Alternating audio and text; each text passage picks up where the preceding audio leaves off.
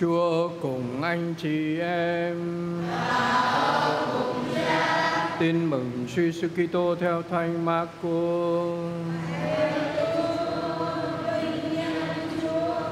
Hồi ấy vua Herode đã sai người đi bắt ông Gioan và xiềng ông trong ngục. Lý do là vì vua đã lấy bà Herodia, vợ của người anh là Philippe, mà ông Gioan lại bảo ngài không được phép lấy vợ anh mình mà Herodia căm thù ông Gioan và muốn giết ông, nhưng không được. Thật vậy, vua Herode biết ông Gioan là người công chính, thánh thiện nên sợ ông và còn che chở ông. Nghe ông nói nhà vua rất phân vân nhưng lại cứ thích nghe.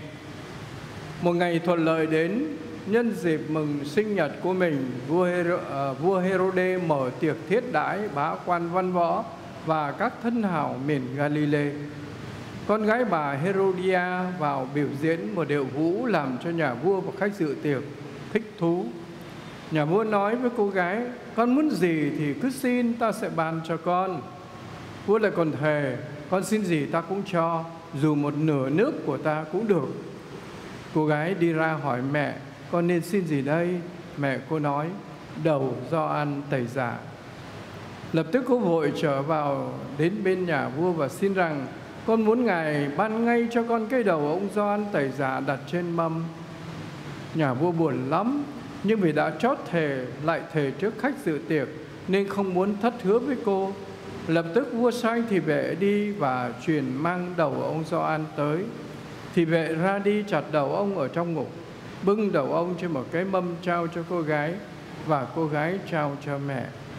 Nghe tin ấy, môn đệ đến lấy thi hài ông và đặt trong một ngôi mộ. Đó là lời Chúa.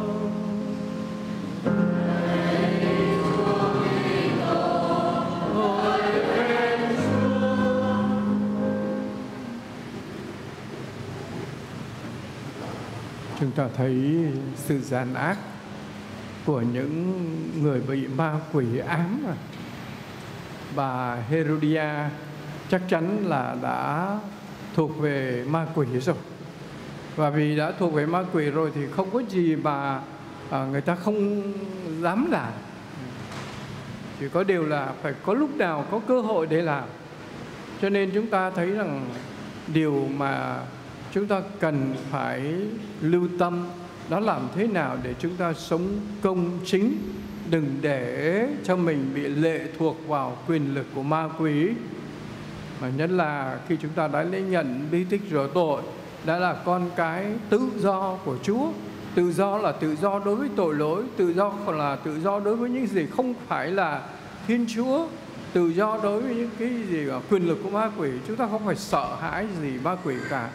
Bởi vì chúng phải lệ thuộc vào à, Thiên Chúa sợ hãi Thiên Chúa. Cho nên chúng ta phải cầu xin Chúa để chúng ta đừng để mình à, dưới cái quyền lực của ma quỷ. Thì nó sẽ chúng ta làm nhiều. Như chúng ta thấy cái câu chuyện mà, mà bà Herodia ngày hôm nay. Xin Chúa gìn giữ chúng ta khỏi ma quỷ. Và hôm nay thì những người tân tổng à, sự tổng sẽ công bố rằng từ bỏ ma quỷ là kẻ cầm đầu gây ra tội lỗi. Rồi từ bỏ những cái gì mà sự sang trọng quyền lực à, tiền bạc vân vân của ma quỷ. Cái vì ma quỷ muốn luôn luôn tìm cách để mà quyến rũ chúng ta à, để có được những cái sự à, thuận lợi những cái sự sang trọng những sự giàu có à, những cái à, uy lực à, đối với thế gian đối với những người khác.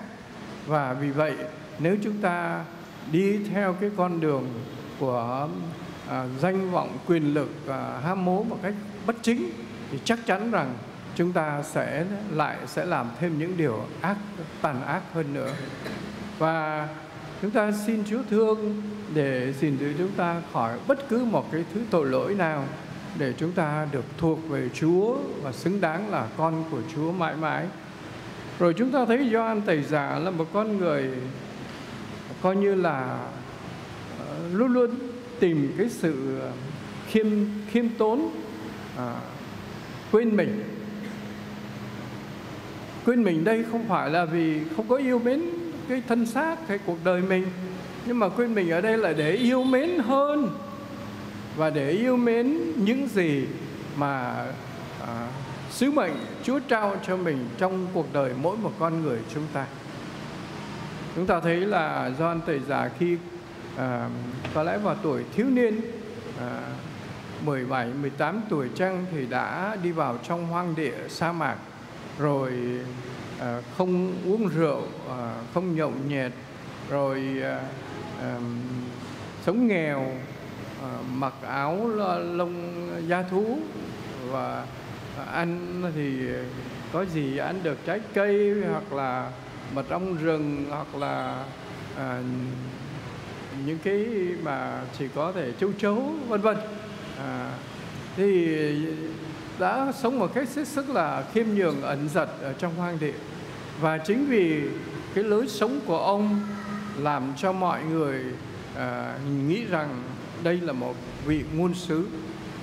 Nhưng mà chưa đủ để chứng tỏ ông là một vị ngôn sứ thì ông đã rao giảng và mời gọi người ta đến để mà à, làm nhận lấy cái phép rửa gọi là phép rửa sám hối. Ông rao giảng cho người ta phải sống như thế nào để mà đúng với giới răn của Chúa đúng với lương tâm của mình đúng với những giá trị làm người của mọi người. Và vì vậy thì ông mời gọi mọi người sống công chính mời gọi à, những người quân nhân thì đừng có lấy quyền lực mà áp bức người đất mát người khác. Hoặc là à, những người mà thu thuế thì đừng có thu thuế hơn những gì mà người ta phải nộp thuế vân vân. Tất cả những cái gì đó thì Doan Tẩy Giả mời gọi người ta sống công chính nhưng mà mời gọi về để làm gì? Để đón nhận đấng cứu thế mà Thiên Chúa hứa được gọi là đấng Messia hay còn gọi là đấng Kitô. Cái mục đích không phải chỉ là sám hối à, vì mình ừ, thấy lương tâm tội lỗi nhưng mà mục đích của sự sám hối là để mà đón nhận đấng cứu thế, để đón nhận Đức Kitô và để chúng ta sống theo những giá trị của những người con cái của Thiên Chúa. Và vì vậy thì Gioan Tẩy Giả đã không ngừng rao giảng sự sám hối và bày tỏ ngay cả trong cuộc đời của mình cái sự sám hối của chính bản thân mình khi mà ngài sống khiêm tốn và đặt Chúa Giêsu Kitô mà ngài đã giới thiệu là chiên Thiên Chúa là đấng xóa tội trần gian thì ngài cũng đã nói rằng ngài phải lớn lên còn tôi phải nhỏ đi. Cái sự quên mình của John Tẩy Giả đó là làm thế nào để mình nhỏ đi để Thiên Chúa có thể được lớn lên. Trong khi chúng ta thì thường à, muốn khoe khoang mình rồi muốn à, làm cho mình được trội vượt thậm chí có thể là đẩy người khác à, à, hay là thậm chí có thể cả đạp người khác xuống dưới để chúng ta có thể vươn lên trên.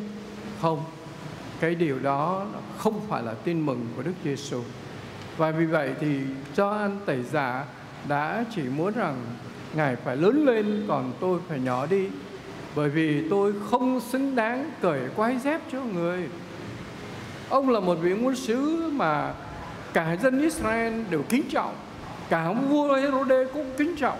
À, mặc dù là ông ta bị à, à, à, vì là bị bà vợ xúi xấu à, nhưng mà ông cũng muốn nghe thích nghe những gì là à, mở John thầy giả nói.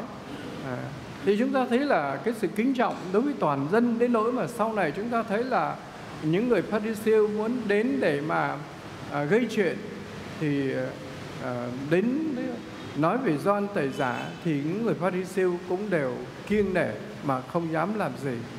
Cho nên chúng ta thấy là ông Gioan tẩy giả của chúng ta là một con người biết luôn luôn tìm quên mình để cho người khác được ân phúc và để cho Đức Giêsu Kitô được lớn lên và làm cho vinh danh Thiên Chúa. Và cái sự khiêm tốn cuối cùng của ông là gì? Lòng sẵn sàng làm chứng cho Chúa Giêsu bằng chính máu của mình, bằng chính cuộc đời của mình. Những gì ông đã công bố về Đức Giêsu là trên Thiên Chúa là đấng xóa tội trần gian là đấng cứu thế thì ông đã chứng minh cái lời của mình bằng một đời sống công chính và sẵn sàng hy sinh mạng sống mình để chúng ta hãy cầu xin Chúa ban cho chúng ta được noi gương thánh Gioan tẩy giả và đặc biệt các bạn à, lãnh nhận bí tích rửa tội và thêm sức hôm nay chúng ta cầu xin Chúa cho chúng ta được uh, sẵn sàng được quên mình đi trước những trước Chúa Giêsu Kitô đấng cứu độ chúng ta. À, vì Ngài đã hy sinh chính mạng sống của Ngài để yêu thương chúng ta và để cho chúng ta trở nên con cái và à, nghĩa tử của Thiên Chúa à, trở nên một cái hoàng thân của Thiên Chúa thì chúng ta cũng phải sống đời sống noi gương thánh doan tẩy giả ngày hôm nay để mà nhất là khi lãnh nhận bí tích thêm sức thì chúng ta có hai điều cần phải làm. Thứ nhất là trở nên chứng nhân của Chúa Giêsu đã chịu chết và sống lại. Thứ hai là chúng ta tích cực trong cái tham dự vào cái sinh hoạt của hội thánh à, để mà nói lên chúng ta là thuộc về nhiệm thể của Chúa Kitô và chúng ta được tràn đầy thánh thần để mà hiệp nhất yêu thương và cùng nhau loan báo tin mừng. Đó là tất cả những gì mà à, Chúa trao phó cho chúng ta như là cái vinh điểm vinh dự. Để chúng ta cầu xin Chúa cho chúng ta với ơn tràn đầy của Chúa Thánh Thần hôm nay. Thì Chúa làm cho chúng ta trở nên những à, người môn đệ yêu dấu của Chúa, những người con cái rất à, quý báu của Chúa và trở nên những chứng nhân trung thành của Chúa Giêsu Kitô cho chúng ta. Amen.